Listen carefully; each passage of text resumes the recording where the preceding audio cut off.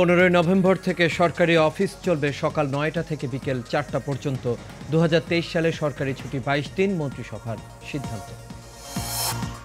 ছয় দফা দাবিতে পিএসসির সামনে দ্বিতীয় দিনের মতো লাগাতার অবস্থান কর্মসূচিতে নন ক্যাডার চাকরি প্রার্থীরা। এবং কুমিল্লার চান্দিনায় সিএনজিকে চাপা দিল যাত্রীবাহী বাস একই পরিবারের চারজন নিহত।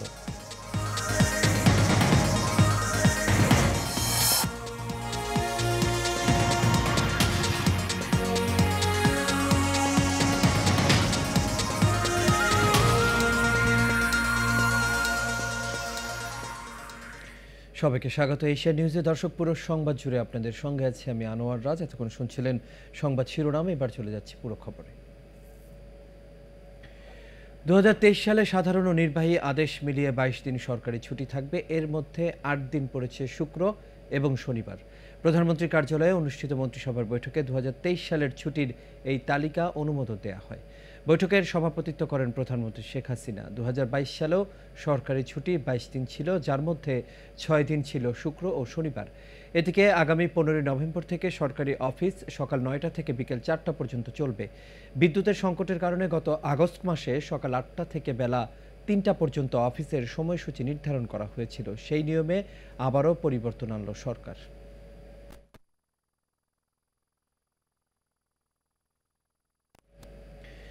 ছয় দফা দাবি নিয়ে রাজধানীর আগারগাঁয়ে সরকারি কর্ম কমিশনের সামনে অবস্থান ধর্মঘটে বসেছেন চল্লিশতম বিসিএস নন ক্যাডার চাকরি প্রার্থীরা। বিসিএস এর মাধ্যমে নন ক্যাডার পদে নিয়োগের নিয়ম থেকে সরে এসে সরকারি কর্ম কমিশনের নতুন সিদ্ধান্ত কার্যকরের প্রতিবাদেই তাদের এই কর্মসূচি। এর আগে রোববার থেকে সরকারি কর্ম কমিশনের সামনে অবস্থান ধর্মঘট শুরু করে চল্লিশতম বিসিএসে নন ক্যাডার হিসেবে উত্তীর্ণরা। আজও ধর্মঘট করছেন তারা। চাকরি প্রার্থীরা বলছেন, তাদের অধিকাংশেরই সরকারি চাকরির বয়স শেষের পথে। তাদের সংখ্যা আট হাজার একশো জন। আঠাশতম বিসিএস থেকে মেধার ভিত্তিতে ক্যাডার পদে নিয়োগের পর উত্তীর্ণ বাকি প্রার্থীদের নন ক্যাডার হিসেবে অপেক্ষমান তালিকায় রাখা হচ্ছিল। সরকারের বিভিন্ন দপ্তরের চাহিদা অনুযায়ী নতুন আরেকটি বিসিএস এর ফল প্রকাশের আগ পর্যন্ত তাদের নন ক্যাডার পদে নিয়োগ হতো। পিএসসির নতুন নিয়মের ফলে বঞ্চিত হবেন তারা। তাই দাবি আদায় না হওয়া পর্যন্ত ধর্মঘট চালিয়ে যাওয়ার ঘোষণা চাকরি প্রার্থীদের। নতুন নিয়মের বিলুপ্তি করে পূর্বের নিয়মে আমাদের আমাদের এই আট হাজার একশো ছেষট্টি জন নন কাটারে নিয়োগ চাই। এটা আমাদের ন্যায্য দাবি। কেননা আমাদের যদি নতুন নিয়ম কার্যকর হয় তাহলে আমরা পূর্বের নতুন নিয়ম কার্যকর হলে আমরা কোনো পদ পাবো না। সৌরভ স্যার আমাদের সাথে বা ওনার পক্ষ থেকে কেউ একজন এসে দেখা করতে পারবে। কালকে পুলিশি প্রোটেকশন উনি বের হয়ে গেছে। উনি কতদিন পুলিশি প্রোটেকশনে বের হয়ে যাবে? আমি যখন সাড়ে চার বছর পরে এসে আমরা যখন কোনো সদুত্তর পাবো না এবং উনি আমাদেরকে কিছু বলবে না, এটা আমরা কীভাবে নেব? এটা আমার মাননীয় প্রধানমন্ত্রী শেখ হাসিনার কাছে আমি এই কথাটা, এই বার্তাটা পৌঁছে দিতে চাই। দেশের আইনের প্রতি বিএনপির বিন্দুমাত্র শ্রদ্ধা নেই বলে মন্তব্য করেছেন যুবলীগের সভাপতি শেখ ফজলে শামস পরশ। দলীয় কার্যালয়ে যুবলীগের প্রতিষ্ঠা বার্ষিকী উপলক্ষে প্রস্তুতি সভায় এই কথা বলেন তিনি। এ সময় তিনি আরও বলেন, প্রধানমন্ত্রী শেখ হাসিনার মানবতায় খালেদা জিয়া কারাগারের বাইরে আছেন। স্বাধীনতা বিরোধী শক্তির বিরুদ্ধে যুবলীগ মাঠে রয়েছে। যারা অরাজকতা সৃষ্টি করবে, তাদের বিরুদ্ধে যুব সমাজ রুখে দাঁড়াবে। এ সময় বিশেষ অতিথির বক্তব্যে সংগঠনটির সাধারণ সম্পাদক মাইনুল হোসেন খান নিখিল বলেন বিএনপি জামায়াত ষড়যন্ত্র করে মাঠে নেমেছে, তাদের যেখানে পাওয়া যাবে সেখানে প্রতিহত করা হবে। তাদের বিষয়ে প্রতিটি নেতাকর্মীদের সজাগ থাকারও আহ্বান জানান তিনি। আমরা ভুলে যাই নাই, ওরা বাংলাদেশকে ধ্বংস করে দিয়েছিল ওদের শাসন আমলে। ওরা মুক্তিযোদ্ধাদের শুধু অপমান এবং অবমাননাই করে নাই, শত শত মুক্তিযোদ্ধাদের হত্যা করেছিল জিয়াউর রহমান। যুদ্ধপরাধীদের হাতে পতাকা তুলে দিয়েছিল, মন্ত্রী বানিয়েছিল। সরকারকে, উন্নয়নকে বাধাগ্রস্ত করতে চায়, প্রশ্নবিদ্ধ করতে চায়। বিদেশি প্রভুদের কাছে আমরা সেদিকে সজাগ দৃষ্টি রেখে জনগণকে সাথে নিয়ে, জনগণের কাফেলায় শরিক হয়ে সন্ত্রাসী বিএনপি জামাতের কবর রচনা করব ঢাকা শহরে। এটাই হোক আমাদের কুমিল্লার চান্দিনার কাঠেরপুল এলাকায় সড়ক দুর্ঘটনায় একই পরিবারের চারজন নিহত হয়েছেন। ঢাকা, চট্টগ্রাম মহাসড়কের কুমিল্লার চান্দিনার কাঠেরপুল এলাকায় ইউটার্ন করার সময় একটি সিএনজিকে যাত্রীবাহী বাস চাপা দিলে এই দুর্ঘটনা ঘটে বলে জানিয়েছে পুলিশ। এ সময় সিএনজিতে থাকা দুইজন নারী যাত্রী ঘটনাস্থলেই নিহত হয়েছে। পরে আহত অবস্থায় হাসপাতালে নেয়ার পর আরও দুজনের মৃত্যু হয়।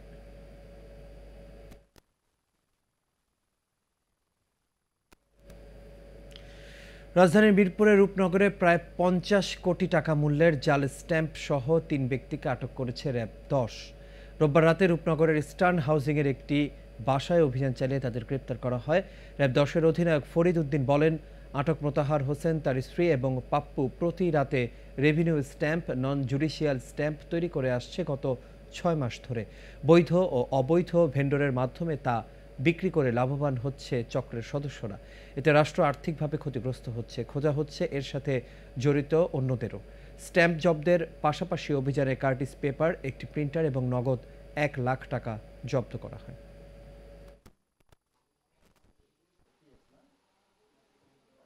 পঞ্চাশ কোটি টাকার এই যে রেভিনিউ স্টাম্প এবং নন জুডিশিয়াল স্টাম্প ইতিমধ্যে তারা তৈরি করেছে, যেগুলো আমরা গোডাউন থেকে উদ্ধার করেছি।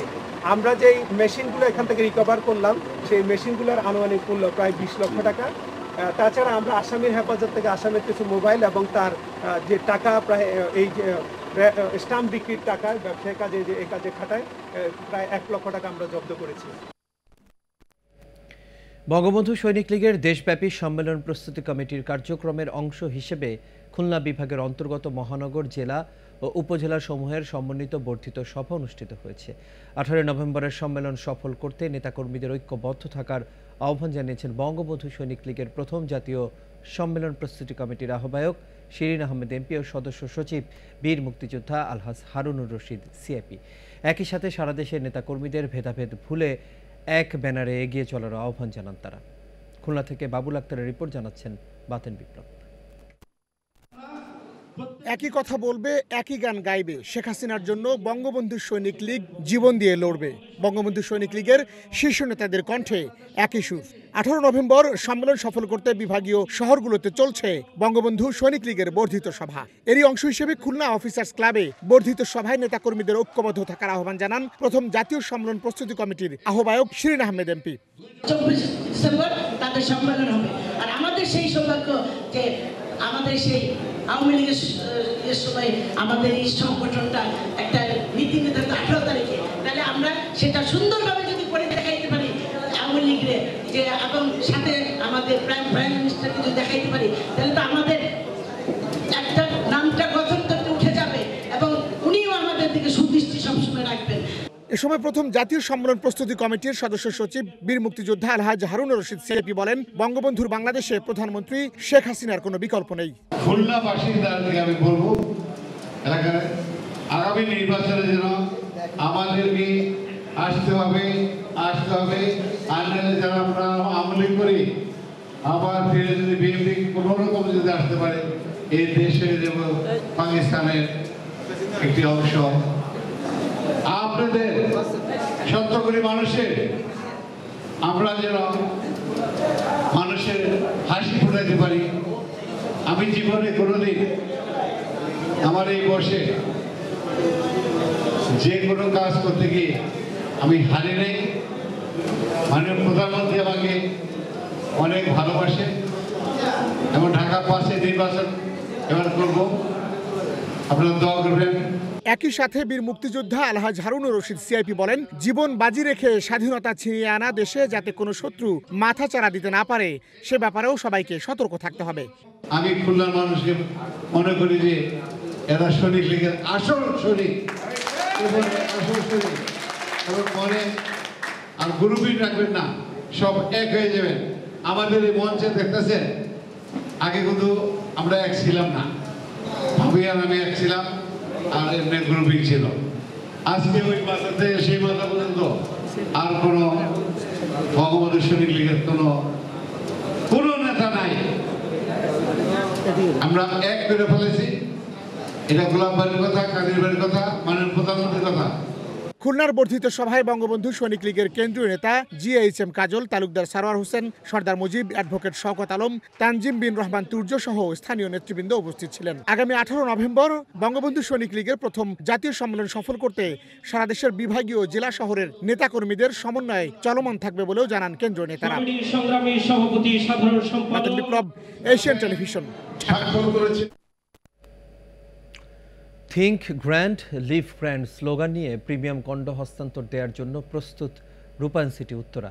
বাংলাদেশে পরিকল্পিত এবং দেশের সবচেয়ে বড় কন্ডোমিনিয়াম প্রজেক্ট রূপায়ণ গ্র্যান্ড যাদের আয়তন একুশশো থেকে একত্রিশশো পঞ্চাশ বর্গফুট think grand live grand slogan নিয়ে চারশো সাতাত্তরটি ব্র্যান্ড নিউ প্রিমিয়াম কন্ডো শীঘ্রই হস্তান্তর দেওয়ার জন্য প্রস্তুত হচ্ছে রূপায়ণ সিটি উত্তরা।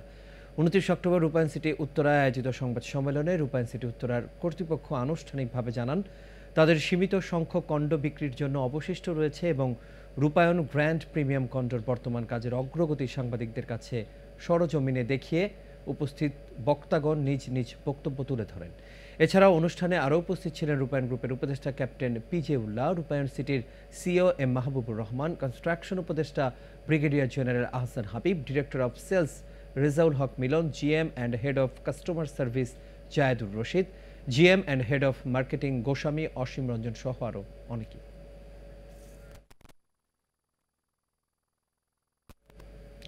দর্শক, সংবাদ একটা বিরতি নিচ্ছে আর ফিরে এসে অন্যান্য খবরের সঙ্গে আরও যা থাকছে। পঞ্চগড় থেকে এবারও দেখা যাচ্ছে বিশ্বের তৃতীয় সর্বোচ্চ পর্বতশৃঙ্গ কাঞ্চনজঙ্ঘা। পর্যটকরা পদচারণার মুখর উত্তরের জনপদ।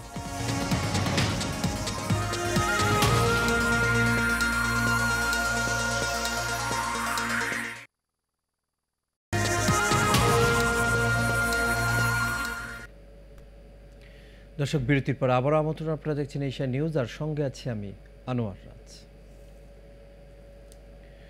International association of peacekeeping training সেন্টারের ছাব্বিশতম বার্ষিক সম্মেলনের উদ্বোধনী অনুষ্ঠান অনুষ্ঠিত হয়েছে। সকালে Gazipur রাজেন্দ্রপুরের Bangladesh institute of peace support operation ট্রেনিংয়ে বাংলাদেশ সেনাবাহিনী তৃতীয়বারের মতো এই অনুষ্ঠানের আয়োজন করে। অনুষ্ঠানের প্রধান অতিথি ছিলেন স্বরাষ্ট্রমন্ত্রী আসাদুজ্জামান খান বিশেষ অতিথি ছিলেন সেনা প্রধান general S M Shafiuddin Ahmed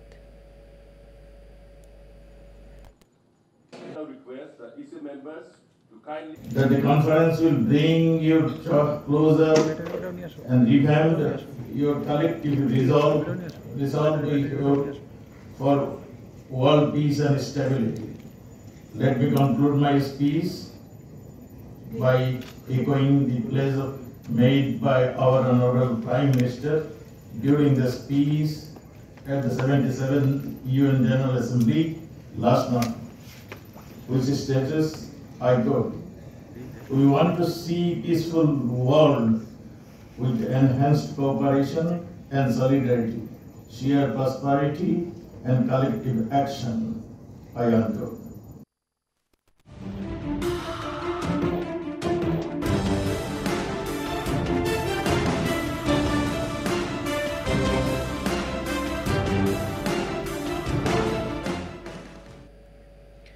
এবার সারা বাংলার খবর, পঞ্চগড়, তেঁতুলিয়া থেকে প্রতি বছরের মতো এবারও বিশ্বের তৃতীয় সর্বোচ্চ পর্বত শৃঙ্গ কাঞ্চনজঙ্ঘা দেখা মিলেছে।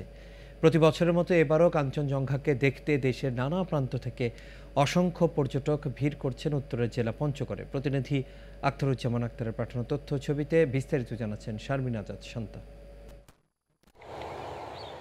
সূর্যের আলোর তেজ বাড়ার সাথে সাথে কাঞ্চনজঙ্ঘা আরও বেশি স্পষ্ট হয়ে ওঠে। সকাল থেকে বেলা এগারোটা পর্যন্ত বেশ ভালোভাবেই দেখা যায়। তারপর ক্রমান্বয়ে আবারও ঝাপসা হয়ে হারিয়ে যায় কাঞ্চনজঙ্ঘা।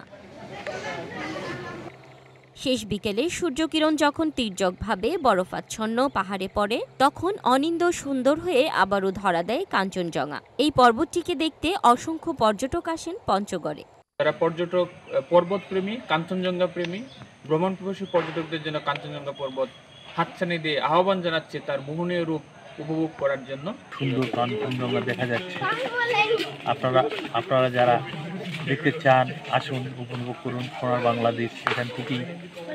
বাংলাদেশি পর্যটকেরা কাঞ্চনজঙ্ঘার রূপ অবলোকন করতে ছুটে যান তেঁতুলিয়ার বাংলা বান্ধায়। তাই প্রতি বছরের ন্যায় এবারও পর্যটকদের সুরক্ষায় নেওয়া হয়েছে বাড়তি ব্যবস্থা। এখানে আইন শৃঙ্খলা পরিস্থিতি অনেক ভালো। পর্যটকদের নিরাপত্তার কখনো কোনো বিঘ্ন ঘটে নাই। পর্যটনরা এরা নির্বিঘ্নে এখানে আসিয়া তাদের মতো করে বিভিন্ন পর্যটন কেন্দ্র নির্বিঘ্নে ঘুরতে পারে। বেলা বাড়লেই তেজদীপ্ত রোদ যখন পড়ে বরফাচ্ছন্ন এই পর্বতে, তখন কাঞ্চনজঙ্ঘার ভিন্ন রূপ ধরা দেয় পর্যটকদের চোখে। যে রূপের টানে প্রতি বছর হাজারো পর্যটক আসেন তেঁতুলিয়ায়। Sharmin Azad Shanta, Asian Television. Quarry থেকে পাথর তোলার দাবিতে সিলেটে আটচল্লিশ ঘণ্টার পণ্য পরিবহন ধর্মঘট চলছে। সকাল ছয়টা থেকে শুরু হয় এই ধর্মঘট। ধর্মঘটের ডাক দিয়েছে বিভাগীয় truck pick up cover van মালিক, শ্রমিক ঐক্য পরিষদ। এই সময়ের মধ্যে দাবি না মানলে পুরো বিভাগে ধর্মঘট ডাকার হুমকি দিয়েছে সংগঠনটি। সংগঠনের সমিতির সভাপতি গোলাম হাদি সয়ফুল বলেন, সংকট সমাধানে রোববার পরিবহন শ্রমিক নেতাদের সঙ্গে বৈঠক করেন জেলা প্রশাসক মোহাম্মদ মজিবুর রহমান। তবে বৈঠকের পরও কোনো সিদ্ধান্ত না হয় এই ধর্মঘট। বিভাগীয় truck pick up covered van, মালিক শ্রমিক ঐক্য পরিষদের নেতারা বলছেন, জেলার বিভিন্ন পাথর কোয়ারি থেকে বছরের পর বছর পাথর সরবরাহ করে আসছিলেন তারা। প্রায় পনেরো লাখ ব্যবসায়ী শ্রমিক ও পরিবহন শ্রমিক, মালিক শ্রমিক এই পাথর বৈধ এই ব্যবসার সঙ্গে জড়িত। কিন্তু দীর্ঘ প্রায় পাঁচ বছর ধরে কোয়ারি বন্ধ থাকার কারণে চরম সংকটে ট্রাক মালিক ও শ্রমিকরা ফলে বাধ্য হয়ে ধর্মঘটের ডাক দিয়েছেন তারা। কারণে আমরা দেখেন হাজার হাজার মানুষ এই রাস্তার বয়ার কোনো রুচি নাই রুচকে নাই। বিকালে যে আমরা ডাল লিয়া বাড়িতে যাইতাম এই সমর্থ আমরা নাই। সরকারের কাছে আমাদের একটাই দাবি অচল করে সচল করার জন্য। এই দাবিটা আমাদের পূরণ হইলে আমাদের জীবিকা রক্ষা করা যাবে। প্রান্তিক খামারিদের কথা চিন্তা করে সিরাজগঞ্জের উল্লাপাড়ার সলপ ইউনিয়নে প্রাণী সম্পদ উপকেন্দ্র নির্মাণ করে সরকার, কিন্তু ফিল্ড সরকারি তৌহিদুল ইসলামের স্বেচ্ছাচারিতায় দীর্ঘ তিন বছর ধরে বন্ধ এই উপকেন্দ্রটি। ফলে অযত্নে আর অবহেলায় নষ্ট হচ্ছে অবকাঠামো আর প্রয়োজনীয় আসবাবপত্র। তবে সংশ্লিষ্ট কর্তৃপক্ষ বলছে, তদন্ত করে প্রয়োজনীয় ব্যবস্থা নেবেন তারা। উল্লাপাড়া থেকে আল আমিনের তথ্য ছবিতে বিস্তারিত জানাচ্ছেন রাশেদ আকুন। অযত্ন আর অবহেলায় পড়ে আছে সিরাজগঞ্জের উল্লাপাড়ার সলব ইউনিয়নের প্রাণী সম্পদ উপকেন্দ্রটি।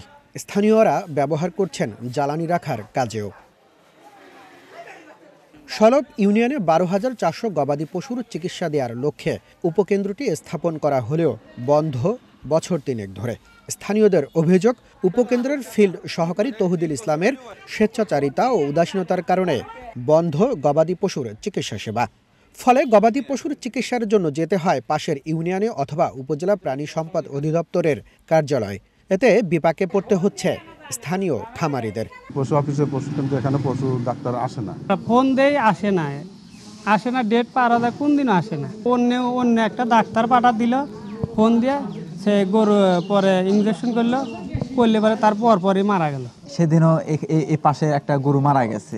ডাক্তার ঠিকঠাক মতো না পাওয়ার কারণে। বিষয়টি খতিয়ে দেখে প্রয়োজনীয় ব্যবস্থা নেওয়ার আশ্বাস উপজেলা প্রাণী সম্পদ কর্মকর্তার। এআই সেন্টার থেকে এটা নিয়োগ হচ্ছে ঈশ্বরদী থেকে। তবে কিছু কার্যক্রম উপজেলার মধ্যে থাকতে পারে।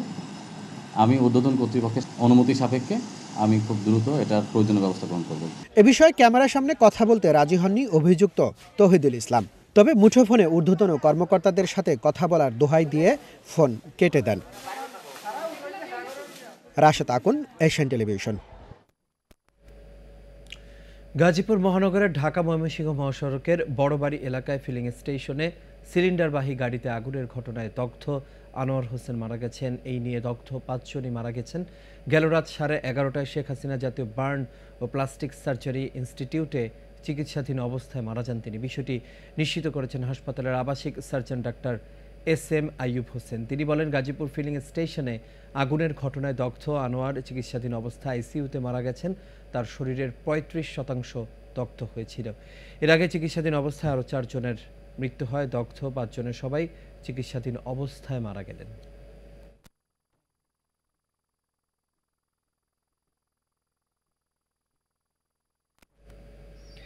দর্শক, সংবাদে নিচ্ছে আরও একটি বিরতি। আর ফিরে অন্যান্য খবরের সঙ্গে আরও থাকছে। ভারতের গুজরাটে ঝুলন্ত সেতু ভেঙে নিহতের সংখ্যা বেড়ে একশো একচল্লিশ।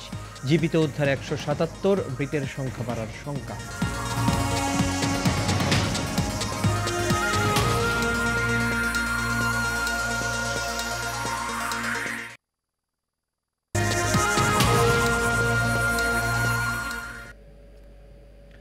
দর্শক, বিরতির পর আরও একবার আমন্ত্রণ আপনারা দেখছেন এশিয়ার নিউজ। আর সঙ্গে আছি আমি, আনোয়ার আসন্ন দ্বাদশ জাতীয় সংসদ নির্বাচন ও ইসলামিক ফ্রন্ট বাংলাদেশের ভাবনা শীর্ষক আলোচনা সভা জাতীয় প্রেস ক্লাবে অনুষ্ঠিত হয়েছে। সেমিনারে সভাপতিত্ব করেন ইসলামিক ফ্রন্ট বাংলাদেশের চেয়ারম্যান আল্লামা সৈয়দ বাহাদুর শাহ মোজাদ্দেদি। আলোচনায় অংশ নিয়ে তিনি বলেন, ইসলামিক ফ্রন্ট বাংলাদেশ নির্বাচন কমিশন নিবন্ধিত একটি জাতীয় রাজনৈতিক দল। দেশের সংবিধান সমুন্নত রেখে সুষ্ঠু রাজনৈতিক ধারা অব্যাহত রাখতে ইসলামিক ফ্রন্ট বাংলাদেশ কাজ করে যাচ্ছে।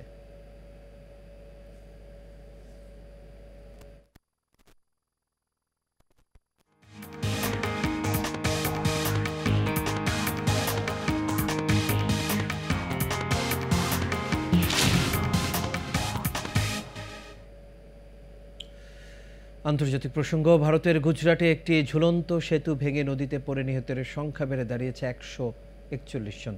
জীবিত উদ্ধার করা হয়েছে একশো সাতাত্তর জনকে। রোববার সন্ধ্যায় গুজরাটের মোরবি শহরের মাচ্চু নদীর ওপর নির্মিত শতবর্ষী ঝুলন্ত সেতুটি ভেঙে পড়ে। এ সময় সেতুতে থাকা কয়েকশো মানুষ নদীতে পড়ে যায়। দুর্ঘটনার পরপরই প্রাথমিকভাবে নিহতের সংখ্যা চল্লিশ বলে জানানো হয়।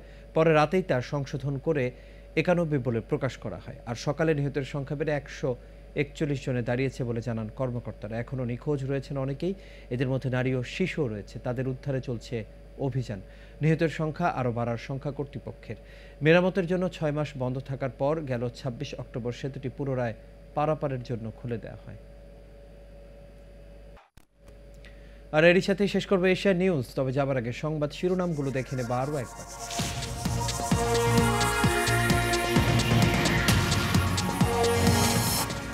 পনেরো নভেম্বর থেকে সরকারি অফিস চলবে সকাল নয়টা থেকে বিকাল চারটা পর্যন্ত। দু হাজার তেইশ সালে সরকারি ছুটি বাইশ দিন, মন্ত্রিসভার সিদ্ধান্ত। ছয় দফা দাবিতে পিএসসির সামনে দ্বিতীয় দিনের মতো লাগাতার অবস্থান কর্মসূচিতে নন ক্যাডার চাকরির প্রার্থীরা। এবং কুমিল্লার চান্দিনায় সিএনজিকে চাপা দিল যাত্রীবাহী বাস, একই পরিবারের চারজন নিহত।